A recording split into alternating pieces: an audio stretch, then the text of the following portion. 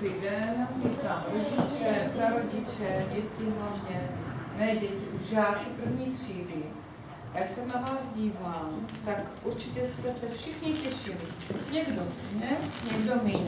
A já si vás hned vyzkouším teď, jestli už se, jste se nezapomněli u mě hlásit, jo? Tak kdo se těšil hodně, tak se přihlásí. A kdo trošku méně? A kdo vůbec? Je tady jednotky. To je paráda, to se nám učit, když všichni se tolik těší. Tak, další tady je. Verunka Drhnalová, vítáme tě Verunko. Na vás vidíme.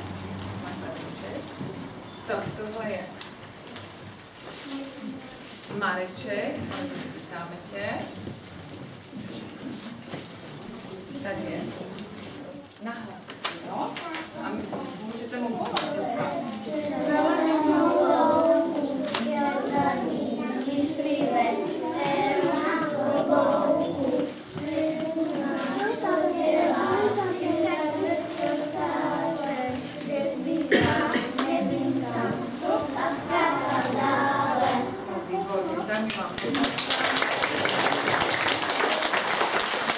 Vážený pane řediteli, vážená učitelko, vážení rodiče, milí žáci.